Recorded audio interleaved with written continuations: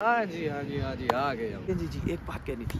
इससे ज़्यादा क्या आपको अपने करीब लाऊं कि अब यूट्यूब पर आकर भी आपको अपनी वीडियो ना दिखाऊँ? तो जी मैं हम पहुँच चुके हैं बैजनाथ मंदिर। ये माना जाता है नंदी जी के कान में अगर कोई भी बात बोली जाए वो सच्ची होती है। श्री खीर गंगा घाट।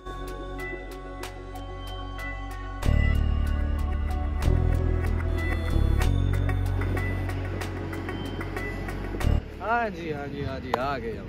हेलो जी कैसे हो? क्या हाल है? Welcome to my YouTube channel myself साइल फिर से मिल रहे हैं आपके साथ। आज हम जा रहे हैं बैजनाथ मंदिर जो कि पड़ता है डिस्ट्रिक्ट कांगड़ा में। बहुत ही अच्छा मंदिर है। एंड मैं हूँ टी प्लांट्स के आसपास जो कि आप देख पा रहे हो। बड़े अच्छा एरिया है। एंड सामने आप जैसे कि देख पा रहे हो जैसे कि आप सामने देख पा रहे हैं ये धौलाधार के पर्वत हैं सामने। एंड ये इसके सामने ही हमारी मंजिल है। हम जाने वाले हैं बस थोड़ी देर में पहुँचने वाले हैं वहाँ। हाँ जी हाँ जी जी एक बात कहनी थी। इससे ज़्यादा क्या आपको अपने करीब लाऊं कि अब यूट्यूब पर आकर भी आपको अपनी वीडियो ना दिखाऊँ। चलो हम चले। चुके हैं यहाँ यहाँ से बैजनाथ है पूरे 10 किलोमीटर नीचे की ओर जाना है। हम पहुँच चुके हैं यहाँ एंड मैंने अपनी बाइक को यहाँ खड़े कर दी दिया है। हम जाएँगे ऊपर की ओर। मैंने अपनी बाइक को वो खड़ा किया है सामने देख सकते हो। और हम इधर से सज जाएँगे एंड अपनी बीस रुपये की पर्ची कटी है हमारी।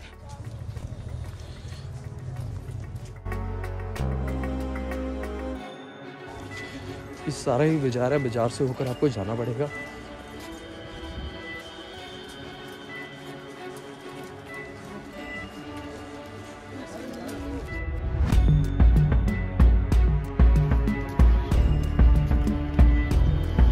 हम बैजनाथ के फ्रंट में पहुँच चुके हैं।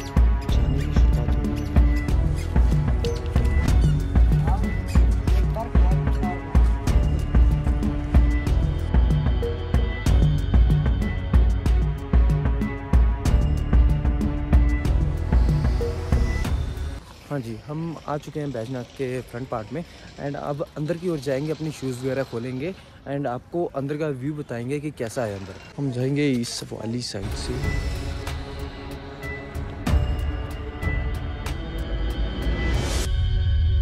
और जैसे कि यहाँ लिखा गया है कि कृपया जो भी जूते, चप्पल हैं, इस साइड उतारें। मतलब हम इस साइड जाएँगे। और ये है पीपल का पेड़। जो कि आप देख पा रहे हो? नीचे थोड़ा सा शेड वगैरह है एंड ये थोड़ा सा ग्राउंड है बैठने के लिए और सामने भी पीपल का पेड़ ही है। जूते वगैरह यहाँ उतारे जाते हैं।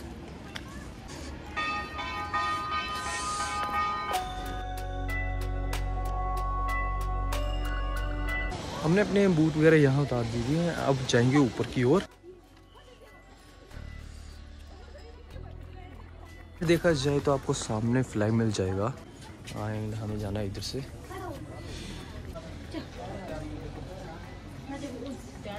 को एंट्रेंस पे ही नंदी जी मिल जाएँगे। एंड ये माना जाता है नंदी जी के कान में अगर कोई भी बात बोली जाए, वो सच्ची होती है। मन की सच में हो जाती है। एंड मन्नत जो भी मानोगे, वो सच में पूरी होगी।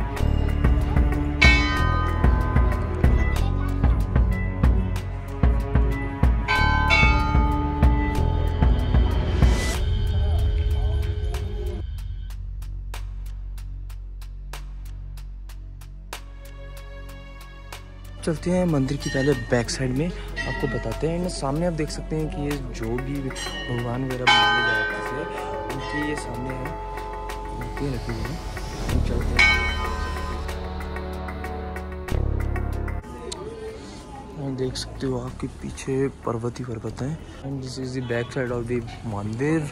आप देख सकते हो कितना प्यारा लग रहा है। अद्भुत ही। एक ऐसे लग रहा है, शिवलिंग होता है जैसे।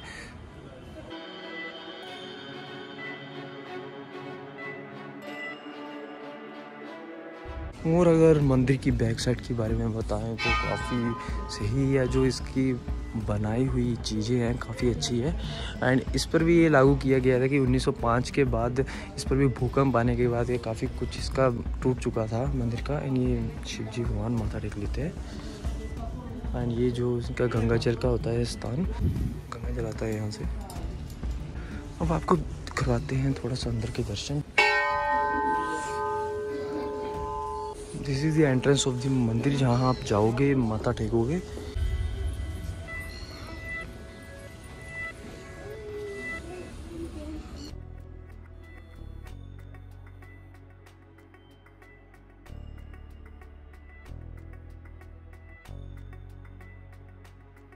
you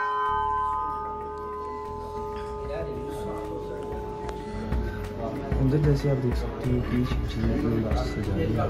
एंड ये जो भैया दे रहे हैं प्रसाद एंड ये दान पत्र है सामने।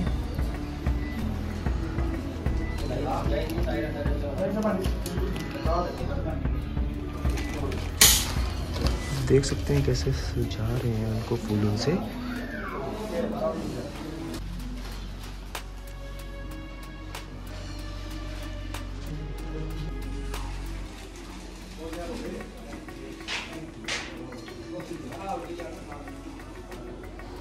देख सकते हैं, ये कैसे मतलब कि मूर्तियाँ बनाई गई हैं। और ये ज्योति है जो जगाई जा रही है सामने।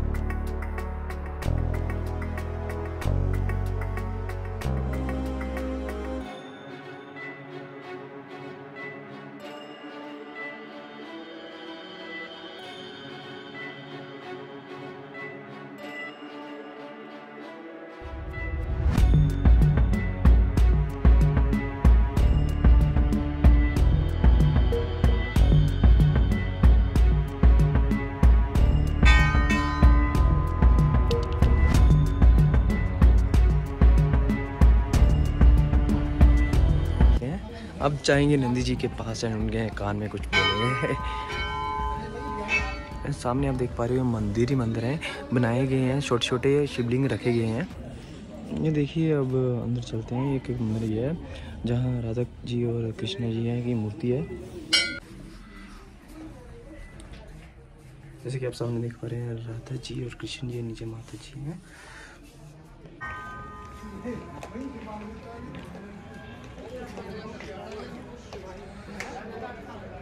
जैसे अंदर की ओर आए हो तो यहाँ भी शिवलिंग रखे गए हैं छोटे छोटे काफ़ी मंदिर बनाए गए हैं।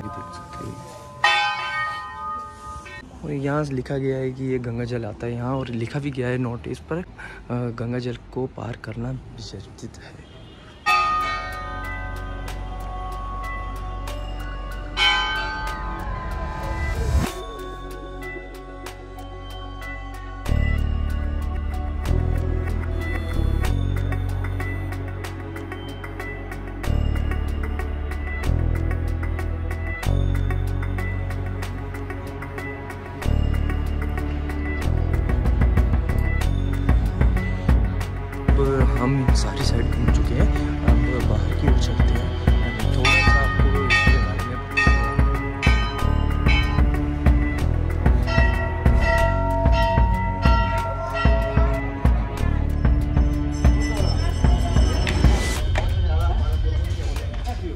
जैसे कि यहाँ से देख पा रहे हो कि आपको काफ़ी भगवान की मूर्ति यहाँ मिलेंगी। आप देख पा रहे होंगे यहाँ, काफ़ी भगवान की मूर्ति यहाँ मिल रही है आपको।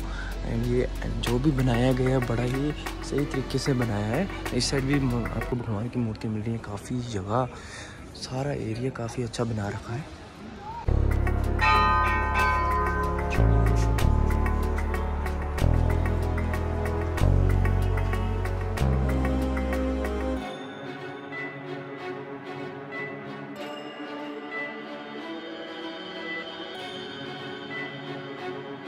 सामने आप देख पा रहे हैं, पीपल का पेड़ पीपल के पेड़ के नीचे चलते हैं बातें करते हैं। बैठने के लिए वो स्थान है एंड सर देख पा रहे हो तो पीपल का पेड़ है। थोड़े से यहाँ बैठने के लिए स्थान है ग्राउंड बना रखा है। दोस्तों थोड़ी सी बात करी जाए इसकी हिस्ट्री के बारे में तो ये कांगड़ा जिला में पड़ता है और धर्मशाला से 56 किलोमीटर की दूरी पर है और पालमपुर से 16 किलोमीटर की दूरी पर है ये। एंड एक्चुअली इसका जो समुद्र तल से इसकी जो ऊंचाई है वो 1250 मीटर है। एंड माँ कृष्ण चतुर्दशी के ये मतलब कि नाम से थोड़ा सा जाना जाता है एंड इसका जो प्राचीन नाम था वो था करीग्राम। तो एक्चुअली ये प्राचीन नाम था, उसका करीग्राम था। एंड ये संसार चंद्र, जो राजा संसार चंद थे, उनके द्वारा इसका मतलब कि काम करवाया गया था, जो कि 1776 टू 1824 तक करवाया गया था। और उसके बीच थोड़ा सा इनका काम हुआ था बट 1905 में जब भूकंप आया था ना, तब ये काफ़ी हद तक टूट चुका था एंड इसका द्वारा काम करवाया था रंजीत सिंह द्वारा। एंड ये काफ़ी मतलब कि त्रेता युग से चला आता है। एंड इसकी कहानी ये है एक्चुअल में कि जो रावण था ना, रावण ने मतलब काफ़ी घोर तपस्या करी थी। घोर तपस्या करने के बाद भी रावण जी को शिव जी नहीं पाए गए थे, पर उसके बाद उन्होंने अपने जो दस मुँह उनके मुँह थे, दस मुँह थे जो एंड वो उनको ने एक एक करके अग्नि में अग्नि में डालना शुरू कर दिया। एंड उनका वो देखकर प्रयास जो कर रहे थे वो एंड शिव जी प्रसन्न हुए। जब उनका नौवा, दसवा मुँह जब डालने लगे थे अग्नि में।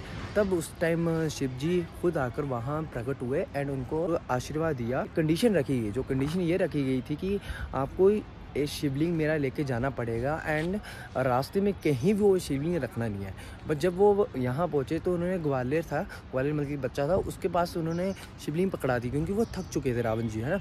तो रावण ने जब वो पकड़ा हुआ था, उसको ग्वालियर को पकड़ा दिया, उतना भारी हो चुका था शिवलिंग जो ग्वालियर से नहीं संभाला गया एंड उसने उसको वहीं रख दिया और इसलिए वो यहीं प्रकट हो गए एंड उनका जो शिवलिंग था वो यहीं समर्पित हो गया। ये धोलाधार पर्वत श्रृंखला के सामने दिखाई देते हैं। धौलाधार पर्वत के सामने ही है, बिल्कुल सामने है, जो कि ये दिखाई देता है। एंड इसका जो भी हुआ है, बड़ा ही अच्छा किया गया है।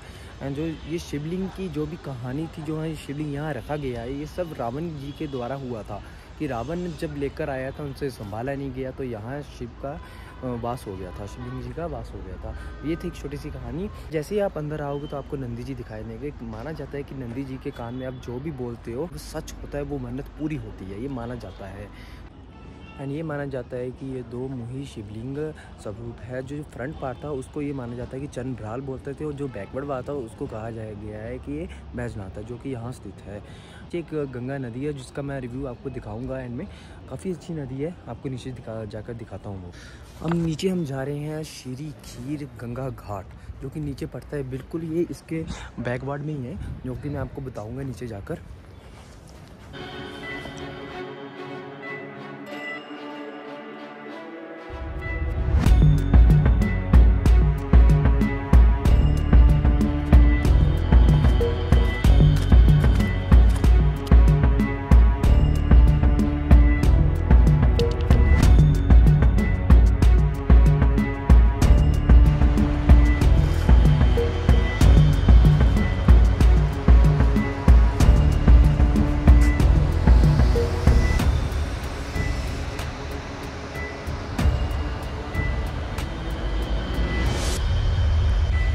हम जा रहे हैं हम नीचे की ओर एंड नीचे जो भी ये गंगा का धर है, नीचे बताते हैं।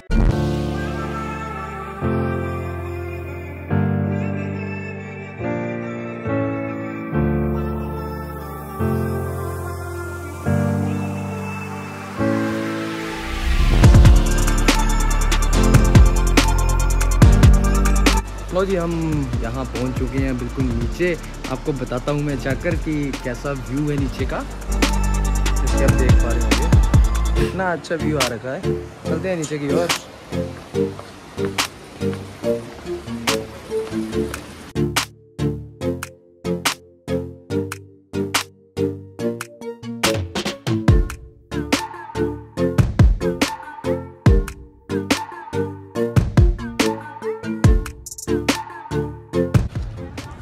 था मेरा एक छोटा सा ब्लॉग, जल्दी मिलते हैं एक न्यू ब्लॉग के साथ। तब तक के लिए इस ब्लॉग को लाइक करना सब्सक्राइब करना एंड जल्दी मिलते हैं न्यू ब्लॉग के साथ। सच बाय